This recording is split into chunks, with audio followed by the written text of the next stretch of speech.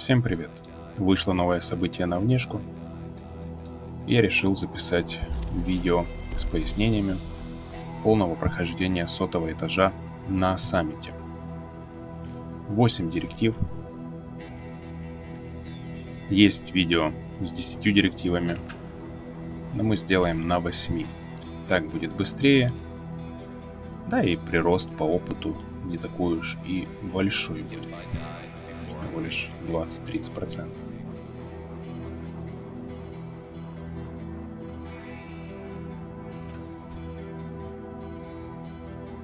Мы ставим все директивы, кроме пистольера и добычи навыков.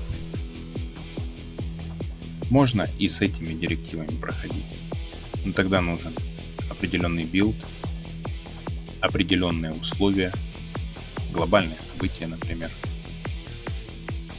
чтобы сотый этаж проходился быстрее. Прежде чем мы начнем, еще одно маленькое уточнение. Не забываем ставить целевой лут. Многие забывают об этом. И во вкладке испытания мы ставим одно. Всегда каждый уровень. Это лихая ликвидация. Пройдя этаж с боссом, сотый этаж, это этаж с боссом. Мы получаем кейс саммита с лутом и почти 300 тысяч опыта. Второе испытание мы будем выполнять один раз на два э, прохождения, один раз на два уровня. Это стрельба по головам.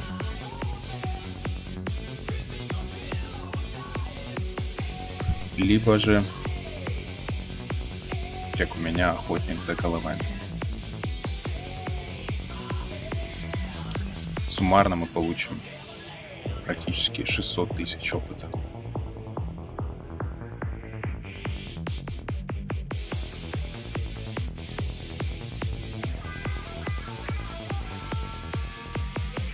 Прежде чем начнем, билд. Специализация. Подрывник. Подрывник нас сейвит от одной гранаты. Гранатометчики здесь лихие, на легендарке, поэтому могут лицо сломать быстро. Далее оружие основное, которое мы используем, классическая М1А.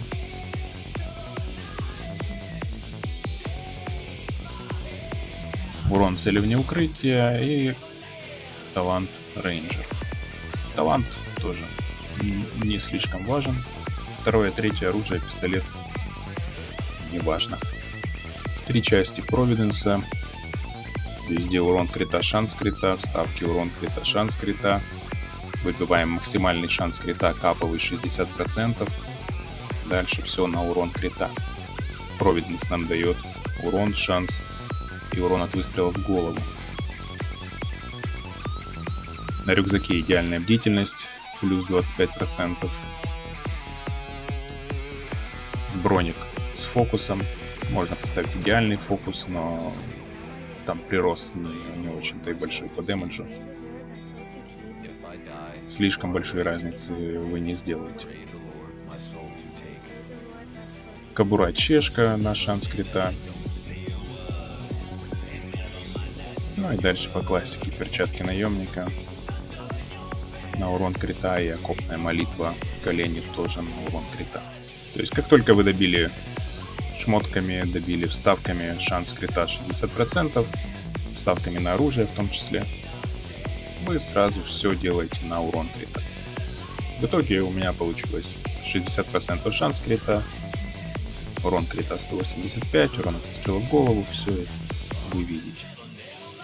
По навыкам, первый навык нам не важен, мы используем щит – Щит нам нужен для того, чтобы сохранять нашу бдительность, талант на рюкзаке, чтобы ее нам не сбивали. Играем от укрытия. Все-таки легендарная сложность, мобы довольно сильные. Особенно если попадаются собаки, попадаются толстяки. Лишь пулеметчики в броне. Вас могут, в том числе с вашим щитом, картонным разобрать за доли секунды.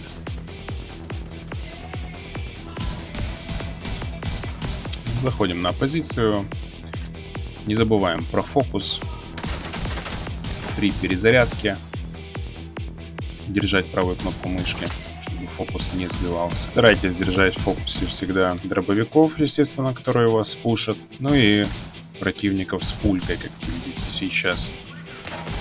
Они накладывают эффект Эми, и при попадании в щит, неважно куда, наши навыки уходят в откат.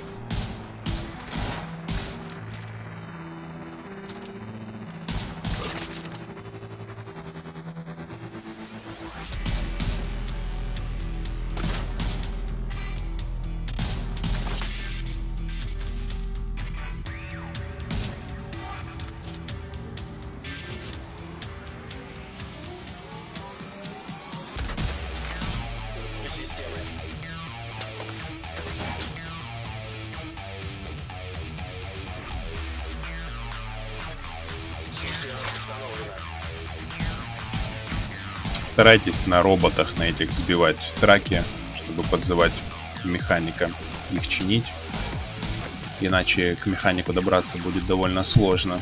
Они всегда сидят в укрытии. Убиваем механика, потом добиваем робота.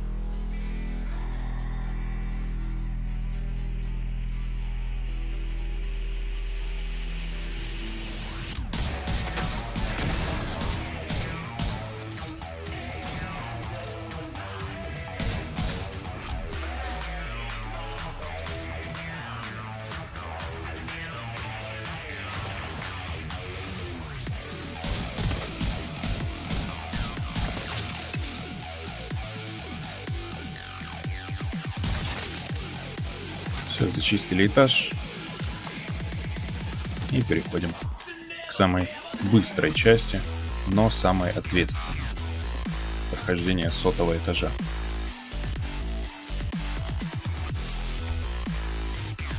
Нам нужен билд на навыки. Самое важное это специализация пулеметчик. Пулеметчик нам дает гранату пенную. Это самое важное в этом билде.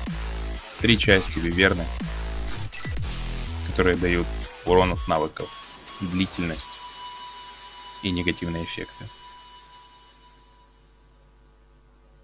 Все, что нам нужно для этого прохождения. Характеристики на предметах. На всех предметах старайтесь добиться урона от навыков и негативные эффекты. Ставками добиваем длительность действия навыка. Шок и трепет на рюкзаке дает доп урон при наложении негативного эффекта.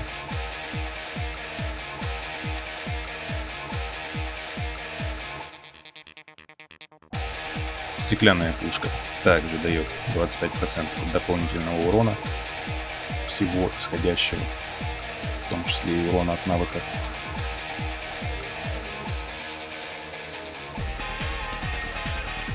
Две части Ханны и Мураками на длительность действия.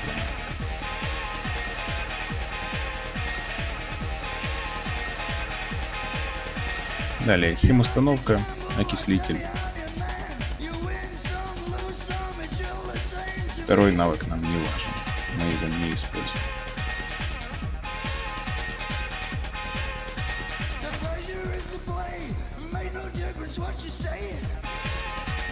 Запомните, вот эта линия, надпись Summit, как только вы ее пересечете, появится.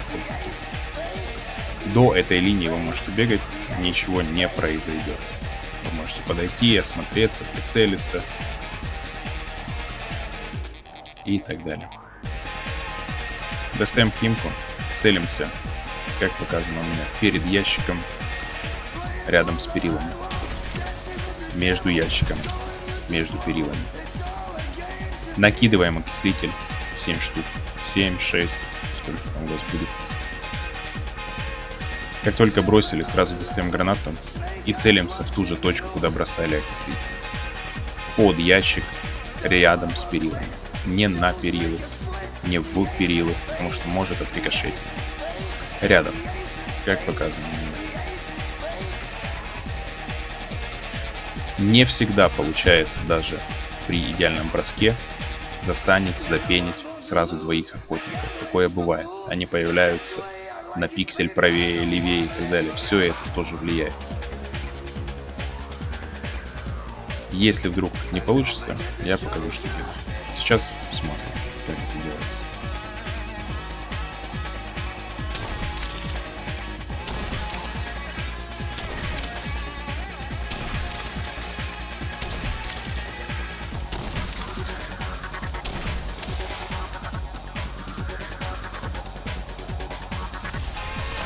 Достаем сразу вторую гранату.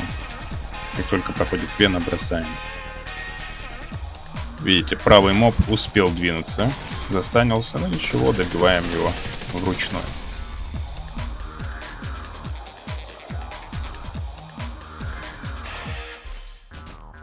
Ну и когда вы убили пеной, может остаться еще окислитель, в него не заходить, потому что вас убьет свой же окислитель, и вы потеряете лут, который выбили с охоты.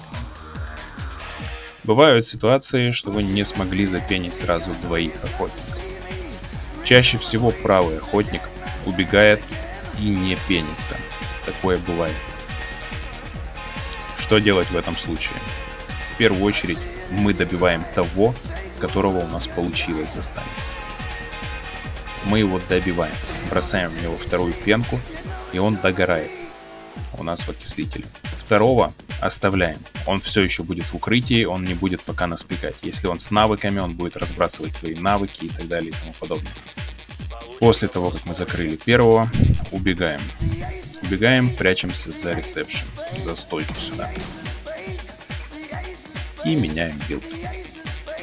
Просто меняем предметы. Поскольку у нас стоит специализация пулеметчик, мы можем поставить либо боевика, либо обычный ДД билд, либо тот же фокус, и потом спокойно доесть оставшегося охотника. Чаще всего они прячутся за этой перегородкой, можно стрелять ему по голове. За этой перегородкой тоже по голове нормально стрелять. За этой они пикают, и на тайминге можно его ловить, убивать.